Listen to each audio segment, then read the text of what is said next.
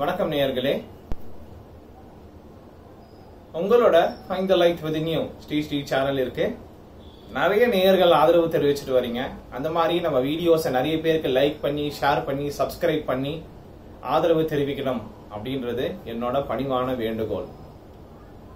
இன்னைக்கு நான் ஒரு முக்கியமான பதிவை பத்தி பேசலான் இருக்கேன். என்ன பதிவு அப்படின்னா ரெஸ்பான்சிபிலிட்டி ரெஸ்பான்சிபிலிட்டி அப்படின்னா அதோட தமிழ் ஆக்கம் தமிழ் டிரான்ஸ்லேஷன் என்ன சொல்றாங்க அப்படின்னா பொறுப்பு ஏத்துக்கிற தன்மை. இல்லனா பொறுப்புகளை தன் தன்னதாக்கி கொள்ளும் தன்மை.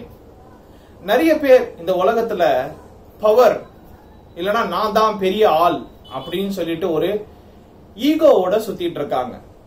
சரிங்களா? ஆக்சுவலாவே நீங்க பெரிய ஆளா இருக்கணும் அப்படின்னா பொறுப்புகளை ஏத்துக்கிறது தான் ஈஸியான வழி. நீங்க ஒரு குடும்பத்துல குடும்ப தலைவராகவும் குடும்ப தலைவியாகவும் இருக்கிறாங்க. யாரோ ஒருத்தர் ஹஸ்பண்ட் ஒய்ஃப் இல்ல குடும்பத்துல பெரியவங்க அப்படின்னா பொறுப்புகளை ஏத்துக்கிட்டாதான் அந்த குடும்ப குடும்ப தலைவருக்கோ குடும்ப தலைவிக்குமே முழு மரியாதை கிடைக்கும். அதே மாதிரி இன்னும் கிராமத்துல சில கிராமத்துல இந்த பழக்க வழக்கங்கள் இருக்கு. நம்ம சென்னையை சுத்தி சுற்றுவட்டார பகுதிகளில் கூட இருக்கு. எவ்வளவுதான் நம்ம வந்து இந்த காலகட்டத்தில் கோர்ட்டு போலீஸ் ஸ்டேஷன்லாம் வந்துட்ட அப்புறம் கூட அந்த கிராமத்துல இருக்க ஒருவர் சொல் கேட்டு ஒரு பெரியவரோ இல்லை ஒரு வயது முதிர்- முதிர்ந்தவரோ அவரோட சொல் கேட்டு நடக்கும் பழக்கம் இன்னும் இருக்கிறது. சரிங்களா? சோ பொறுப்பு ஏத்துக்கிறது அப்படின்னா எல்லாத்தையும் காசுக்காக ஏத்துக்கிறது கிடையாது. சரிங்களா? நம்ம குடும்பத்தோட நலனுக்காக பொறுப்பு ஏத்துக்கிட்டோம் அப்படின்னா நம்மளும் குடும்ப தலைவர் தான். ஒரு ஸ்ட்ரீட் ஒரு சந்துக்காக பொறுப்பேத்துக்கிறீங்க அப்படின்னா அந்த சந்தில இருக்கவங்க எல்லாருமே வந்துட்டு உங்களை மதிக்க ஆரம்பிப்பாங்க.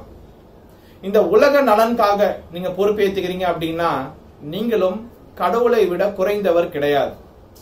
So from responsibility comes power from power does not come responsibility அப்படின்றத ஆணித்தனமா உங்க மனசுல பதிய வச்சுக்கோங்க.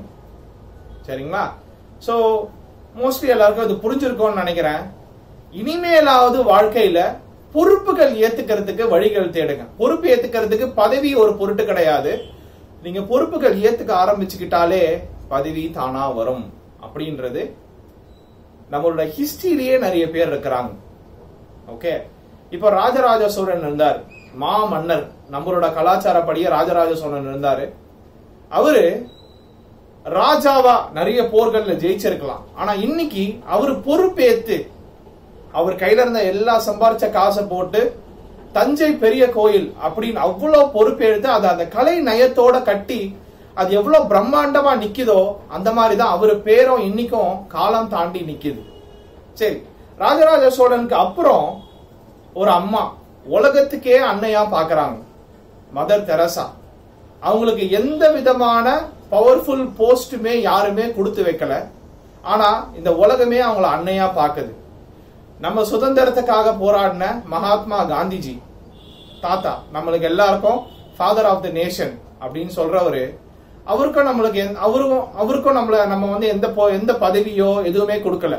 அவர் ஃபாதர் ஆஃப் த நேஷன் எதுக்கு ஆனாரு அப்படின்னா எல்லாருக்குமே சுதந்திரம் வேணும் அப்படின்ற ஒரு இன்டென்ஷனோட அவரோட சுதந்திர போராட்டத்தை மற்றவங்க எல்லாம் கஷ்டப்படும் போது இவர் மட்டும் அகிம்சை முறையில கொண்டு போனாரு. நீங்க எந்த பக்கம் இருக்கணும்னு முடிவு பண்றீங்க அப்படின்றது உங்க கையில தான் இருக்கு.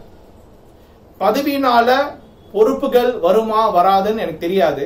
ஆனா பொறுப்புகள் ஏத்துக்க ஆரம்பிச்சீங்கன்னா இயற்கையும் உங்களை சுத்தி இருப்பவர்களுக்கும் நீங்கள் பதவி வகிக்கக்கூடியவர் தான் ஆனால் அது எழுத்து வடிவமான பதவி கிடையாது. அவரவர்கள் உள்ளத்தில் உண்ணான பதவி என்பதை நான் தெரிவித்துக் கொள்கிறேன். இதை கேட்டு ஒருவராவது திருந்த வேண்டும் இல்ல ஒருவராவது சிந்திக்க வேண்டும் என்பது என் பணிவான வேண்டுகோள். நன்றி வணக்கம்.